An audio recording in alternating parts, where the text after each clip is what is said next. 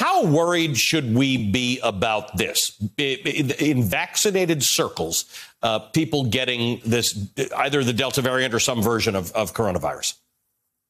Yeah, Ali, first of all, thanks for having me back. Um, I think this is to be expected for a couple of reasons. One is we're seeing massive outbreaks in unvaccinated individuals. When you have a lot of virus circulating around, uh, it's going to challenge vaccinated people, and we're going to see a few breakthroughs. So this is not totally surprising. Uh, the good news is the people who've had these breakthrough infections have had mild disease, and that says to me that the vaccines are working. We never thought these vaccines were 100%. And the best way to prevent breakthrough infections is to reduce the amount of infections in the community, which is get more people vaccinated.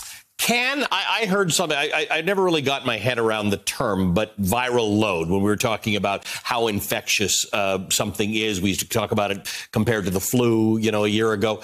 Uh, is is the viral load such that people who are vaccinated can be spreading this to other people?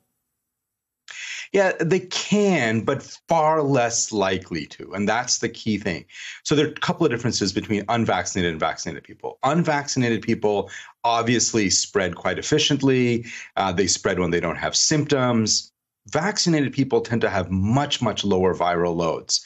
Uh, so they're much less likely to spread uh, asymptomatically. And even when they're having really bad symptoms, they can spread it to other people, but it's not that common. The um, the efficacy we've seen certain studies that show that um, the main vaccines that we've got uh, have some degree of efficacy against the Delta variant. Doesn't mean you're not going to get it. It means you can get it. Uh, generally speaking, are if you are if you are vaccinated and you get this Delta variant, will you experience lesser symptoms?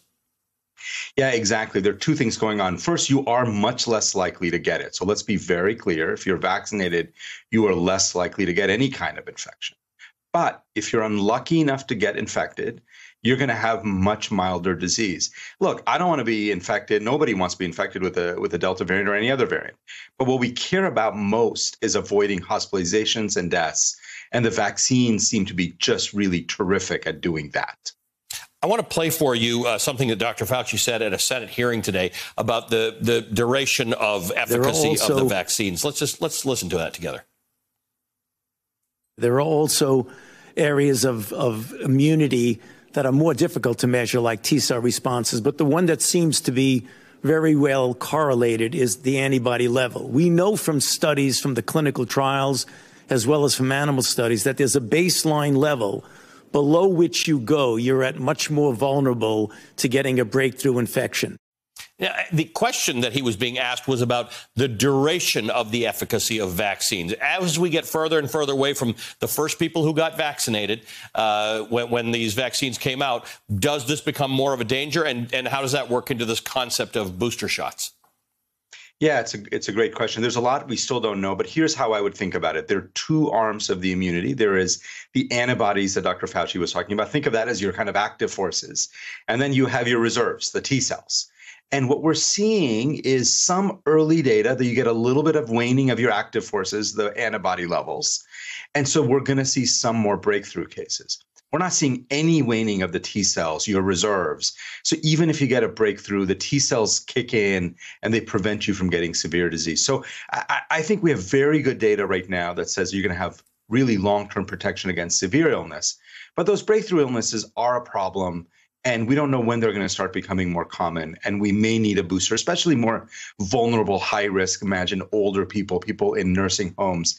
I think they may need a booster shot sometime sooner rather than later. Can this come to an end if we still have a whole bunch of people who don't want to get vaccinated boy, it's going to be a lot harder because not just talking about this horrible Delta variant, but we're also talking about future variants. Like this thing comes to an end. I mean, I, you know, to me, it, what's striking about people who have not yet gotten vaccinated is don't we all want to put this behind us? Like, aren't we ready to move on from COVID? I am.